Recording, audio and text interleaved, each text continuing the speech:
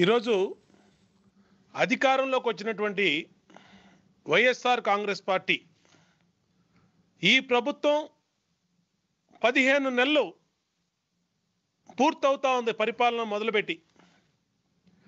రాష్ట్రంలో ఎక్కడైనా సరే అభివృద్ధి కార్యక్రమాలు ఏమన్నా చేశారని అనేక సార్లు ఈ ప్రభుత్వాన్ని ప్రశ్నించాం. ఎక్కడా కూడా ఈ పదిహేను నెలల జగన్మోహన్ రెడ్డి గారి నాయకత్వంలోని ప్రభుత్వం పదమూడు జిల్లాల్లో శ్రీకాకుళం నుంచి చిత్తూరు దాకా అటు అనంతపురం దాకా ఎక్కడా కూడా లక్ష రూపాయలు పెట్టి ఒక రోడ్డు అయిలా లేదంటే కోటి రూపాయలతో ఎక్కడా ఏ ప్రాజెక్టు కూడా పూర్తి చేయలే. చేసింది ఏంటంటే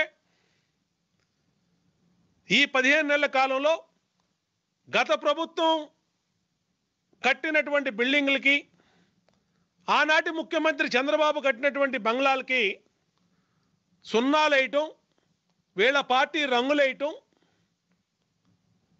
ఇవి మాత్రమే ఈ ప్రభుత్వ హయాంలో జరిగినటువంటి పనులు.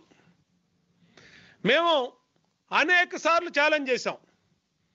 మీకు చిత్తశుద్ధి ఉంటే ఈ పదిహేను నెలల ప్రభుత్వ పరిపాలనలో జరిగినటువంటి అభివృద్ధి మీద ఖర్చు పెట్టినటువంటి నిధులు చేసినటువంటి పనులు వీటి మీద వైట్ పేపర్ రిలీజ్ చేయమని ఛాలెంజ్ చేశాం. కానీ ఎక్కడికక్కడ సమాధానం చెప్పలేనటువంటి పరిస్థితుల్లో తోక ముడిచి కూర్చున్నారు ఈ ప్రభుత్వంలోని పెద్దలని సందర్భంగా గుర్తు చేస్తా ఉన్నా. ఇవాళ అభివృద్ధి వికేంద్రీకరణ అంటా ఉన్నారు.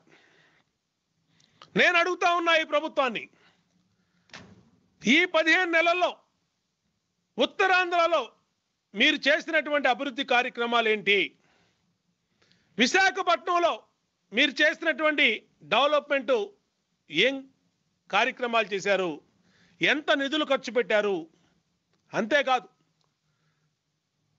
రాయలసీమ మీద ప్రేమ కురిపిస్తా ఉన్నారు. కొన్ని రాయలసీమలో ఏమి ప్రాజెక్టులు మీరు పూర్తి చేశారో వైట్ పేపర్ రిలీజ్ చేయండి. రాయలసీమ వాసులు కూడా మిమ్మల్ని గెలిపించినటువంటి రాయలసీమ వాసులకో ఉత్తరాంధ్ర వాసులకో నిజాలు తెలుస్తాయి.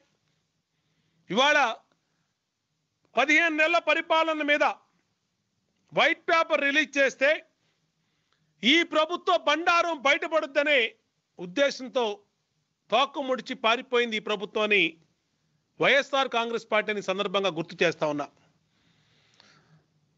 చంద్రబాబు నాయకత్వంలో గత ఐదు సంవత్సరాల తెలుగుదేశం ప్రభుత్వంలో రాష్ట్రంలో సమగ్ర అభివృద్ధి జరిగింది.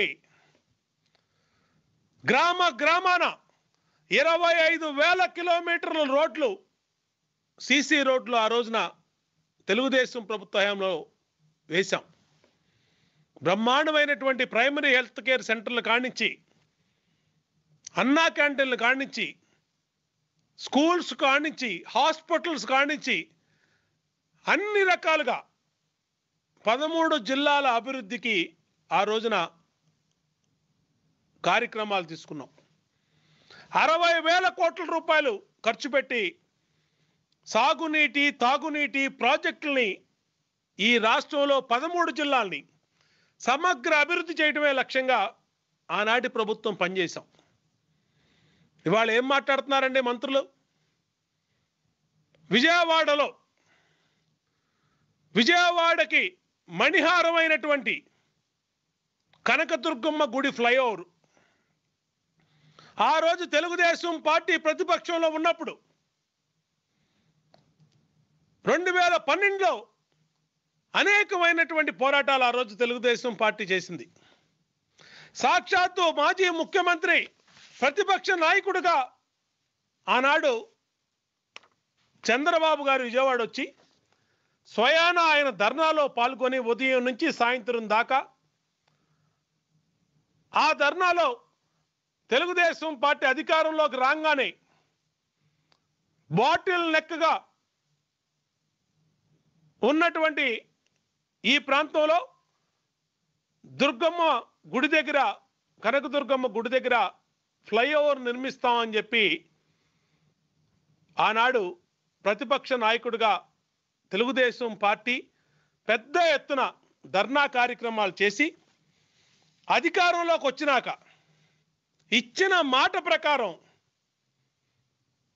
ఫ్లైఓవర్ నిర్మాణానికి మొదటి ఆరు నెలల్లోనే శంకుస్థాపన చేసి అప్రూవల్ తీసుకొచ్చి కేంద్రం నుంచి నిధులు తీసుకొచ్చి దాన్ని పూర్తి చేయడానికి దాన్ని మొదలు పెడితే ఇవాళ వచ్చినటువంటి వైఎస్ఆర్ కాంగ్రెస్ పార్టీ ఎమ్మెల్యేలు మంత్రులు మాట్లాడుతూ ఉన్నారు. ఇది గత ప్రభుత్వంలో పూర్తి చేయలేకపోయినటువంటి ప్రాజెక్టు. మేము వచ్చినాక పూర్తి చేశామని చెప్తా ఉన్నారు. ఈ సందర్భంగా ఆనాడు శాసనసభ్యులుగా ఉన్నటువంటి మూర్ఖులు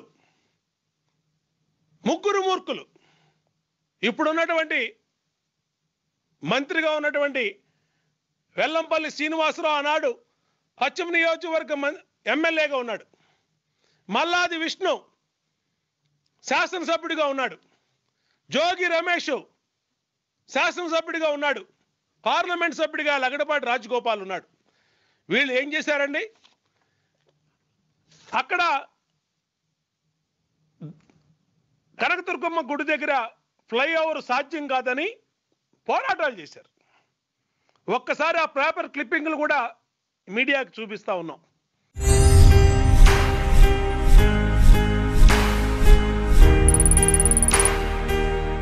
you